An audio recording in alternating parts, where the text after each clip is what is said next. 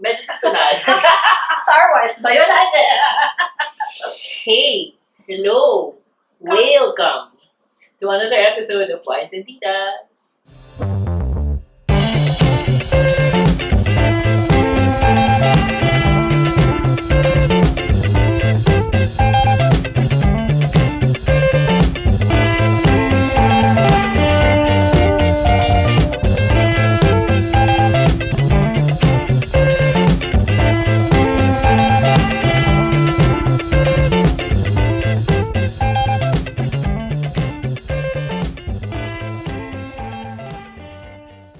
Congratulations, graduates! At sa mga hindi graduate, next year, better luck next year, next sem. Sabay tayo So, sabay tayo mag-celebrate! celebrate ng graduation. We're gonna celebrate with you guys. Woohoo! Yay! Let's celebrate with alcohol. so this week we're we're still going uh, local, and this time we're drinking mangosteen wine. Nakain ka ng mangosteen? Yes. Ako hindi pa. Hindi pa. And we'll find out what it tastes like.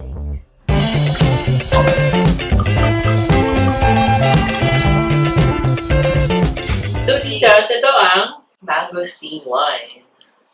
Medyo ano siya, transparent. Reddish. Reddish in color. Or, Port. may naamoy ka bang mangosteen? Wala. I don't know the smell of mangosteen. Ako rin eh. What's Although the walang of smell ang mangosteen ah. Ah. Kaya naman! Yes. That makes Baka yung sense. taste lang. Parang yung balat niya yung kulay nito. More than the white. Oh. Cheers. Cheers. Cheers. Sa mga graduates. Cheers. Cheers. Congratulations. Congratulations. Congratulations. Oh.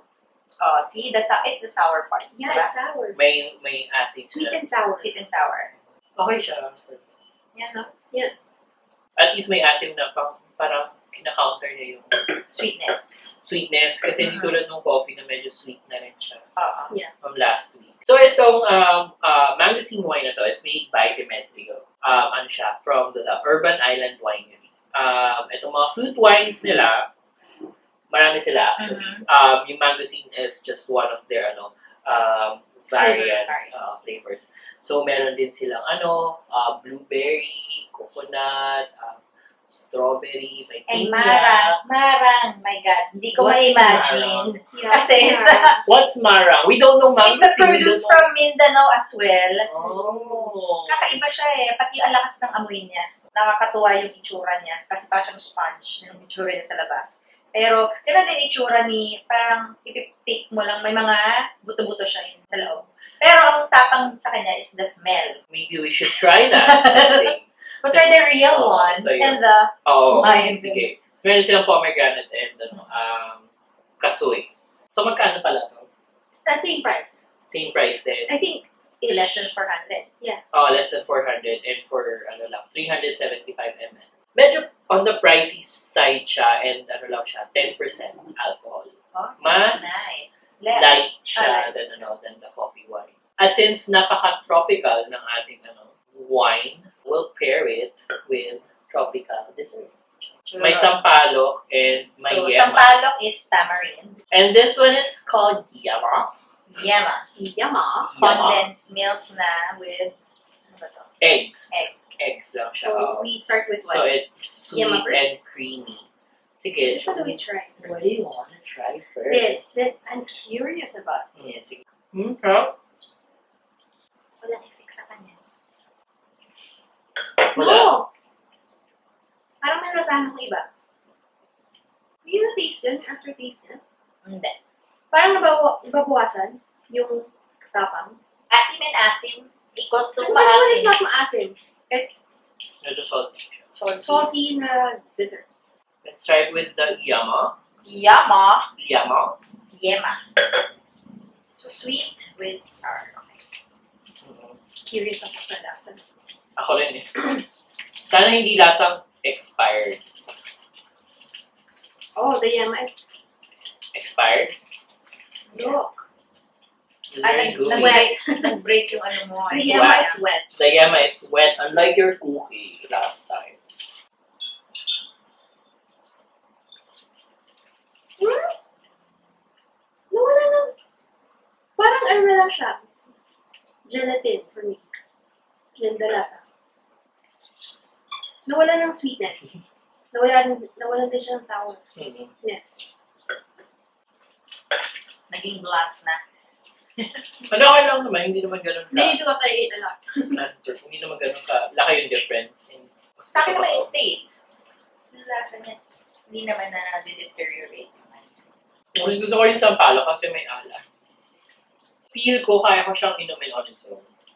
Since graduation na somewhere. At- Season in the Philippines. yes, and congratulations to the graduates. Sa mga hindi nag-graduate, Inom na lang tayo. doon na lang tayo. Or sa mga gumraduate, celebrate din tayo. Oh, inom din inom din tayo. So bilang matagal na tayong graduate, mga titas, Mm. ano na? ano na? May graduation pa bang na? Oo. do you still feel the need to graduate baga, from certain things? Like. Dahil nakailang taon na tayong buhay sa mundong ito, meron ba kayong mga bagay-bagay or habits na gusto nyo na i-graduate. i-graduate? Or meron na kaming napagdaanan na gin-graduate na na. Oo, or parang meron bang something na you graduated from? Graduate Graduate ako na ba dun sa mga the loud concerts. Mm. Di ba? Yung para, like, for example, the EDMs, kung may mga pa-concert na. Ah. I tried, I tried to, oh, na sumabay. Pero feeling ko hindi na ako makasabay. Yes, yung tugs-tugs na yan. Then, with the titas, you want a more, kung may concert man yan, it's more on the acoustic, very, ano yung artist naman. Sino tipong Ed Sheeran ka? mga ganun, mga Sasabihin ko nga acoustic na ni lang. Martin. Martin Rivera! Basta, ah, with Ang musika music, musik, Jaya, Martin Rivera. Jaya. Jaya. Ogyal kasi, Mm. doon talaga. Then, nandiyan pa naman yung mga, ano, para you go with the slow music na, mellow na music na. And even sa ambience na pinupuntahan mo in terms of uh, sa mga restaurants, you don't want it na maingay. That's loud. So, it's a very, Graduate ka na uh, from too much too much noise. So, Graduate parang nai, like for example, na naiingayan ka. Simple things like yung grupo ng mga bagets na sobrang maingay kung mag-usap, di ba? Na, na, na, nairata na mga titang ingay-ingay naman yung kabilang table na yan. So, those things, yung ingay. How about you, Tita? Where have you graduated? Chucher Durder. Chuchuderder. Chucher Durder? I don't know if it's a bad thing, but I don't think it is. Parang graduate na ako dun sa sobrang hard work. I mean, hindi masama yung mag-hard work. Okay. Pero yung Mag-overtime. Yes, true. forever, Uh-uh. yun. Like forever. Well, not anymore. Or tama ka, diba? Yeah. Came a time na sobrang, uy, kung late tayo, late yeah, ano. kasi there used to be a time when we worked till, I don't know, till madaling araw, like 2 a.m. in the morning or Mm. 12 midnight. And we enjoyed it that time, diba? Yeah. Na parang naging adrenaline natin na ganun. Yes. Oh, yeah, work! Work, Ganun. work, Pero that was a long time ago. Yes. But yung siguro yung mga more recent, Naabutan ko ba yung time na yun? Ay, tayo! Oo naman. Oo, tayo! Whenever, ano, pero yung mga more recent na the work, um, parang till mga 9 p.m. or till 8 p.m. For me, sobra pa rin yun. Sa, kasi parang, I learned time management kasi. Parang better way. Mm. Uh, parang it doesn't mean na parang extending your Work. time, you're showing, lumalabas din yung inefficiency din Oo. dun. diba? And Parang for the millennials, um, I think they have to know na um, OT doesn't equate to good work. Good work Oo. or Kasi, productive ka. or productive ka. Kasi, ibig sabihin lang nun, you're bad at time management. Oo. I guess parang eh, kailangan din ng parang proper work-life balance. Yes. Uh, Na pag-work, better kung focus ka and efficient ka with what you do. Para you have time to ano unwind, Oo. gano'n. uh, I think as you grow older, yun yung natutunan Oo. mo. And then another thing, di ba, parang, for example, if you get already that balance, so na-re-energize ka ulit. Mm. So, it's a good thing, a good thing na when you go back to work again, hindi Refresh. kayo, or refreshed ka, hindi kayong sobrang hindi ka parang nakapag-rest, hindi ka pa rin naka-energize. So, patong-patong yung pagod mo nun. So, it's a good thing if you you leave early, pero productive ka naman within the, Within that, uh, within yeah, that, within the day. ano, the day. And then you find time for yourself as well. Mm-mm. you have to look at it in a, such a way na parang isipin mo, kailangan by end of day, May na-achieve. May, na, may na-achieve ka dun sa, sa tasks mo. Tapos, huwag mo nang idalin sa bahay, huwag mo siyang isipin. Mhm, yes. Para the next morning, fresh, bago na, ito na siya. Cheers to that. Cheers to that. Cheers to Cheers that. to Sa that. pag ginraduate na. Yes. Cheers, guys. Cheers. Ako, saan na ba ako Cheers tayo. nag-graduate? Yeah. Um, nag-graduate na ako from love. And, End of the road na yun. Hindi, hindi, hindi. Um, saan na ba ako nag-graduate? Um, Working as a corporate slave. ano, Oo medyo matagal na no. yun eh. Medyo Pero hindi matagal. nila alam. Doon ka na nag-graduate. Pero it's not something naman na I wouldn't consider doing again Yeah. eventually kung kung ano, kung dumating man doon. So I guess, love na lang. Ay, joke.